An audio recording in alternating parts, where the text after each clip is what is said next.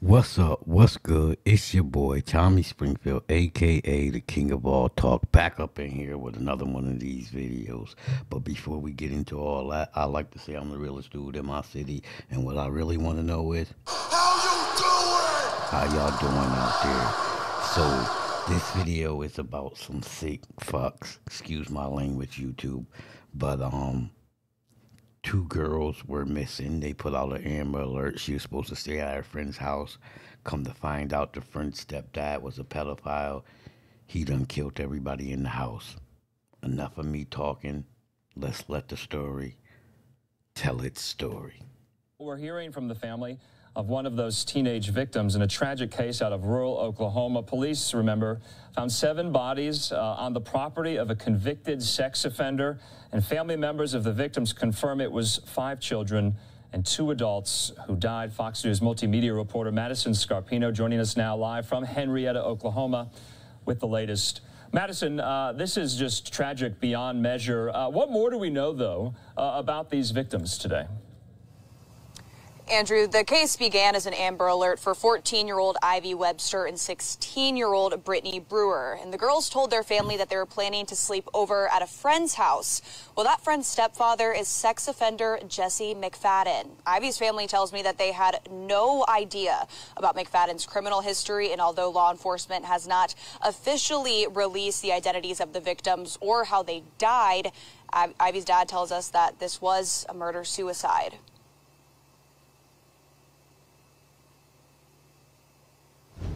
We know they were shot. We were told that some bodies were in a row and uh, some other bodies were scattered on the property. I just want to know if my girlfriend. I want to know if she tried to run. Another family member confirms the five other deaths are McFadden, his wife Holly, and her three children. McFadden was released in 2020 after serving 16 years of a 20 year prison sentence. He was expected in court yesterday on new charges of soliciting sexual conduct with a minor and possession of child pornography. Ivy's parents say their daughter was best friends with McFadden's stepdaughter. That's crazy because he was supposed to be still in prison.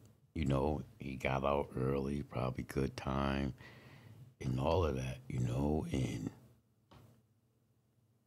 he couldn't resist. He did it again. He probably was already doing it, but when he had all them little girls in the house together at the same time, he couldn't resist. His urges took over. Then he probably realized, hey, man, I, I just crossed the line. I messed up he had to kill everybody. That's what it seems like happened here. It's a sad story, and um, and I know a lot of stories that people should have been in jail finishing up their time, and they got out early, and now they're back on bigger bids. It wasn't your time. You know, you, you, you got lucky and got that early time, and you wasn't grateful for it. But let's get back to the story.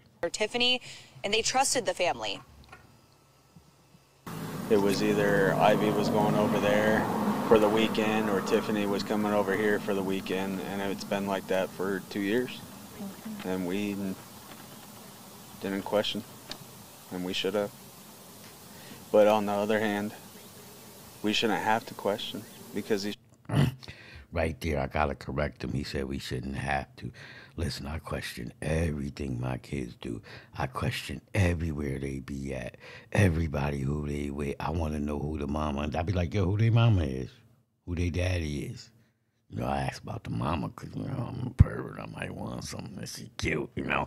But that's another story for another day. But on a serious note, I check everything, bro. So don't don't think you not supposed to. Hell no, you supposed to should have still been locked up. Ivy's parents call her an angel and say she was the type of person who wanted to be friends with everyone. We reached out to law enforcement to uh, see if they could confirm the details that Ivy's dad told us, but we're still waiting to hear back. Andrew? Madison, just a question for you. What do we know about this McFadden character? We've heard a lot about him, uh, pretty long uh, criminal rap sheet as well. Uh, are any, you know, of his contemporaries, friends, family uh, speaking out? Uh, the only person who has spoken on uh, Jesse McFadden are Ivy's parents, who I. And one more thing before I let this video ride on out. Like, the system got to do a better job with tracking down and letting people know about these sex offenders. You know, I don't think, and I would hope if they knew he was a sex offender, their kids wouldn't have been there. So there was a lot of uh, failures, uh, not enough um, letting people know about this guy. And he was on a new case. He had already had a new case. So there's no sex offender list. There's no nothing.